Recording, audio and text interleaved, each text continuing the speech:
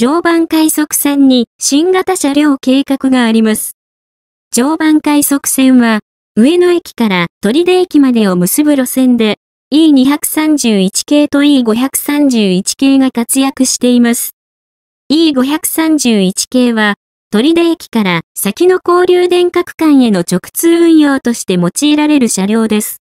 E531 系は、高直流車両のため、運用にかかるコストが高くなります。そのため、E531 系を取手駅より先のみでの運用とすることで、コスト削減ができます。しかし、E531 系を常磐快速線から追い出すと、E231 系だけでは足りなくなります。ここに新型車両を投入すれば、補うことができます。新型車両として考えられるのは E235 系です。E235 系は、山手線や横須賀線、総武快速線で活躍している車両です。